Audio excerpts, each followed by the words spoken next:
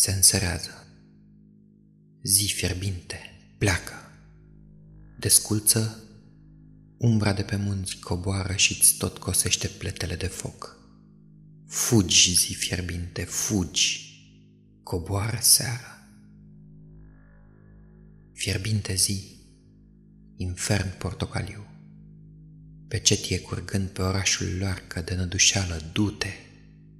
Soarele în mare se afundă și el, răsturnat ai barcă, din care sfârâind pe mute ape ce încep să învie încet ca niște plante de arșiță culcate, se răstoarnă poveri, poveri de aprinse diamante.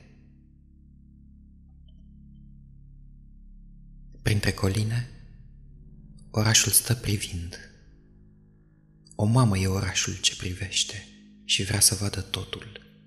Iată unul din râuri scăpărând, ai zice un pește, sclipindu-și solzii bot în bot cu altul, la fel de mare ca și celălalt, dar mai posac, căci fratele îi răsfrânge o școală în șerpuitorului fald. O școală de copii, atâta tot. Dar dimineața, când se prinde mână, cântând copiii râde încet și râul și întinerește apa lui bătrână. Lin își rotește orașul ochii lungi, ca niște aripi de umbră desfăcute, ce către marea lunecă încet. Orașului is toate cunoscute și vrea să știe că la locul lor. Apune soarele ca întotdeauna și rurile șapte lungi beteli de aur moale, nu lipsește una. Respiră marea văluri străvezii, mai fulgeră din soare câte o rază scurt săgetând. Orașul stă, privește. Pe cine l-a rănit? Un om oftează. Își șterge fața, gânditor, pe scarul. Cu o batistă atârnând pe frunte, e rege acestora pe nesfârșite, în zdrențe și cu tâmplele cărunte. Din cârpai de pe frunte grea coroană, pe chipii se prelinge, nu sudoare, ci plumb topit, plumb, boabe ale trudei, ce șiroind ca plânsul pică în mare.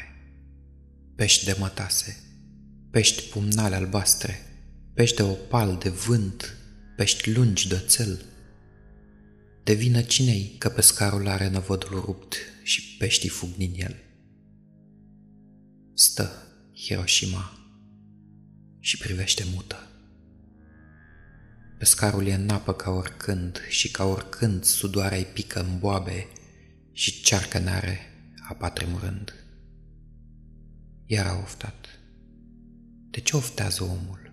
Se întreabă Hiroshima tresărind. Și acum, din valuri se ridică luna și jumătate omul e argint. Și plasa lui târâtă înspre casă E o pânză de paing, de argint curat și se întreabă iarăși Hiroshima, de ce a oftat? De ce? De ce a oftat? Niciun cuvânt. Cu marea stând în față, înveți să taci într-una an de an. Că ești oftatul, doar îți amintește. E scump cuvântul pentru cel sărman. Tu noapte blândă, ce întinzi o plasă de stele pe muncita lume, noapte liniștitoare a trupurilor, soră, ce faci din vaetele zilei șoapte, te apropie. Acum ca să vadă, se înalță Hiroshima în raza lunii și se oprește pe cetatea veche, cu umbrele rotindu-și mut pe unii. Umbre și oameni, zgomotele zilei, ce, înainte de a pieri, cresc încă umbre și oameni, umbre gârbovite, ce poartă în spinarea lor o stâncă. Bătrânii din aziluri se întorc la casa care nu e a lor, pustie, ținându-se de mâini cum fac copiii speriați și muți, fără copilărie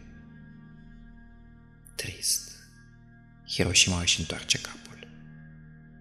Umbre și oameni. Oameni înhămați, trăgându-și ricșele de plumb spre grajduri pe jumătate morți și dezbrăcați. Roți ce amețesc roți, umbre iuți de roți, roți de mașini, lung, fulger diavolesc, ce-și râd de goana bietului om cal și pâinea de la gură i-o răpesc. Amurcuși țese umbrele grăbit, lungi umbre de oameni, umbre, umbre adânci de case înalte, umbre de cutii, de lemn în care te tărești pe brânci, albastră seară. Templele lucesc ca solzii de aurării și lac roșcat. Surd vuiet de uzine, mări închise, privește adânc orașul nemișcat. Dar cine trece podul curcubeu, ce în mare salbe viorii aruncă, de se mișcă, Hiroshima îl vede. Nici azi bătrânul n-a găsit de muncă. Cresc stele în apă, tremură tăcute.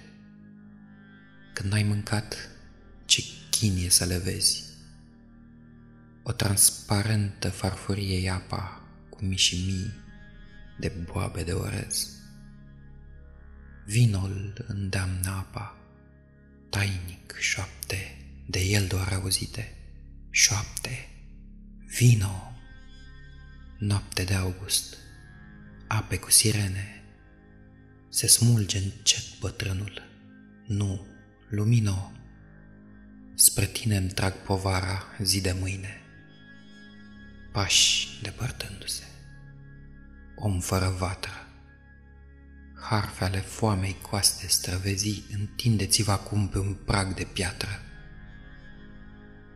Privește către stele muncitorul, bătrân, zăcând pe patul de granit, cu pumnii descărnați și un zeu de fildeș, de lumi făuritor și părăsit.